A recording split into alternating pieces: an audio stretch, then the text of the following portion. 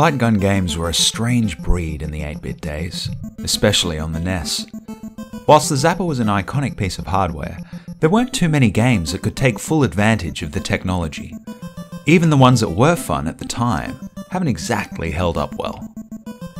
One of these games was To the Earth. It's a pretty nondescript game, playing like a slower, less dynamic version of Space Harrier or Afterburner, except with a light gun.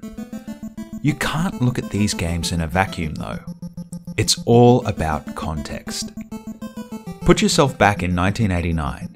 You like movies like The Last Starfighter and Star Trek. All communication and radar systems are out, Wing Commander. You have a NES at home with a zapper and a packed in version of Duck Hunt.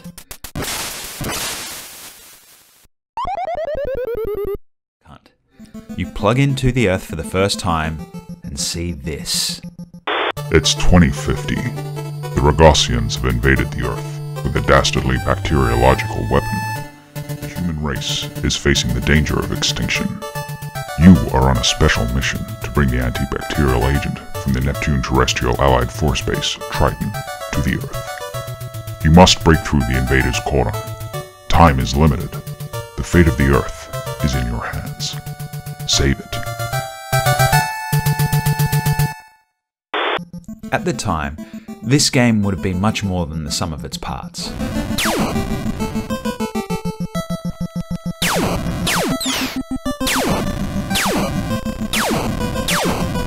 Sure, it's a bit dated now, like most of the light gun games from this era, but keep an open mind, and you may just find yourself enjoying it a bit more than you may expect.